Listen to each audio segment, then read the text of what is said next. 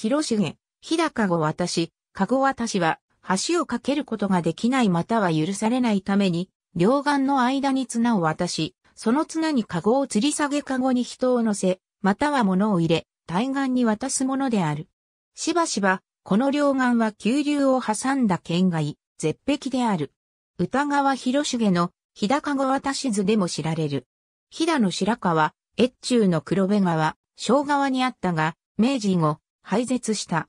飛騨のものは、神通川の上流、白川村の渓流をはじめとする急流に設けられた。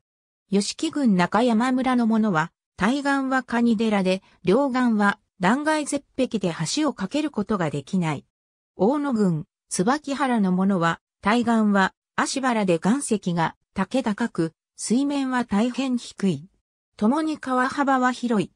鳩谷と萩町との間に渡すものは、東岸が高く、西岸が低いため海底を立てて、カゴについたという。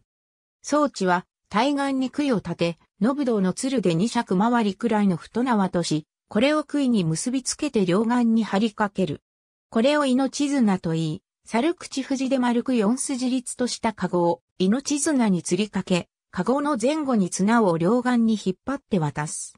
渡る人は、カゴの中に立って、柱藤を左右に買い込み、体を固めて、ブランコのように前後に振り動かし、それは、カゴが、ブランブランと、命綱に触れるほどである。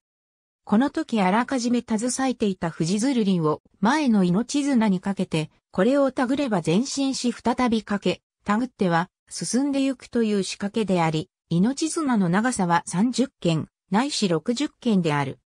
綱は、たるんでいて、岸から半ばまでは難なく進むが、そこから半ばは高きに登るようで、容易な技ではないというが、地元の人は両岸に世話人を置き交通の頼りとしていた。越中境のものは、1871年に廃されて板橋を貸し、萩町、鳩谷間は1888年に廃されて、翌年、椿原、足山を鉄砂橋に改めた。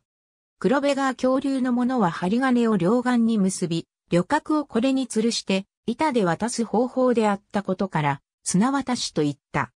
加賀藩の流刑地でもあった五箇山では、川に架橋が許されず、行き来に、加護渡しが使われたが、富山県南砺市にはそれを再現したものがある。徳島県三好市や奈良県十津川村では人力ロープウェイ、野園として一種のアトラクションとして存続されている。ありがとうございます。